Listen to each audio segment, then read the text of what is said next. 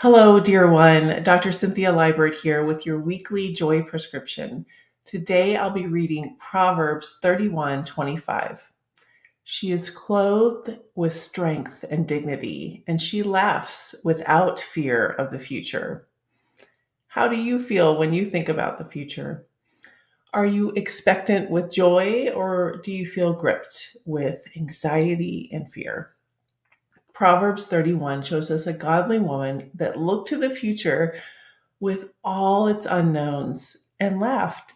How could she respond so carefree and confident? It, well, it wasn't about what her future held, it was about who was accompanying her into her future the Almighty God.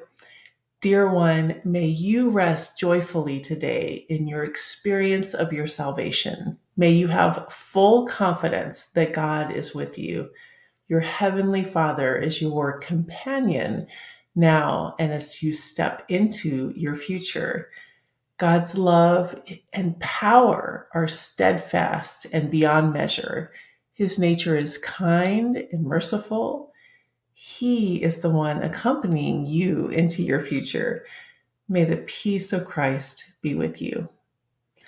I invite you to tune in next week for another Joy Prescription devotional, and also on the second Tuesday of each month when my co host, Brooke Jack, and I take a deeper dive on other topics at the intersection of our passions brain health, lifestyle medicine, and Christian spirituality.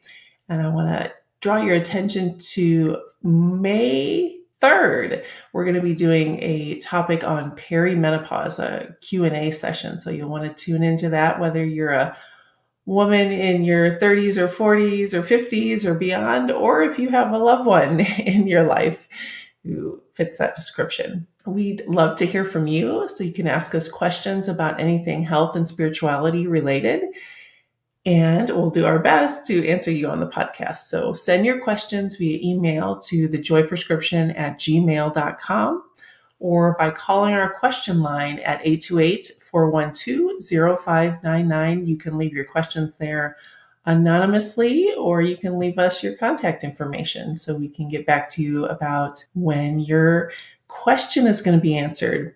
In the meantime, we invite you to take your learning further with us at thejoyprescription.com.